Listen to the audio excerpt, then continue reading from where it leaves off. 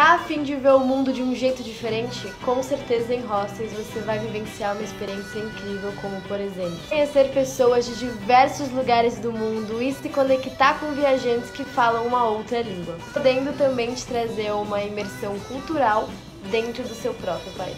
Noites épicas que você vai curtir muito, com várias festas diferentes e todos os dias conhecer novos lugares. Toda certeza o lugar que você vai visitar tem ótimas paisagens e lugares turísticos conhecidos no mundo todo.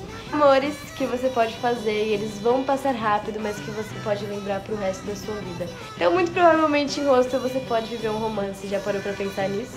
diversos pôr do sóis incríveis que você pode ver deslumbrar e agradecer por essa vida incrível que a gente tem. Autonomia e liberdade. Viajar sozinho, com certeza, é uma coisa que você conquista. E depois que você viaja sozinho, uma vez você se torna muito mais independente, feliz, ali você tem autonomia para fazer o que você quiser.